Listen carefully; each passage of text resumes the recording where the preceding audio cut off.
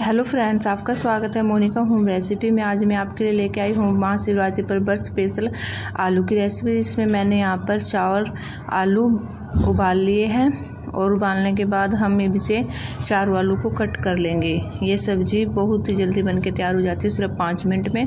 उसके लिए हम एक बर्तन लेंगे।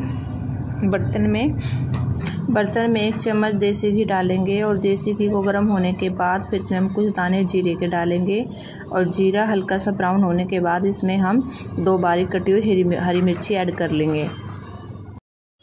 हरी मिर्ची हल्की सी फ्राई हो जाएँगी, फिर इसमें हम एक बारीक कटा हुआ टमाटर ऐड करेंगे। टमाटर ऐड करने के बाद इसमें हम हल्का सा सेंधा नमक ऐड करेंगे।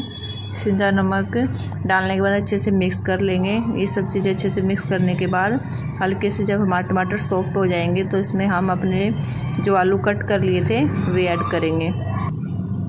वो ऐड करने के बाद इसमें हम अपने आलू को दो मिनट के लिए फ्राई कर लेंगे। हमारे आलू फ्राई हो गया है। हमने अपनी आलू की सब्ज़ी को सर्व कर लिया। हमारी आलू की सब्ज़ी देख के इतना लाजवाब बन के तैयार हुई। आप इसे दही के साथ, चाय के साथ भी खा सकते हो। अगर आपको मेरी ये वीडियो की रेसिपी पसंद आई हो तो मेरी वीडियो को लाइक शेयर एंड मेरे चैनल को सब्सक्राइब करें। Thank you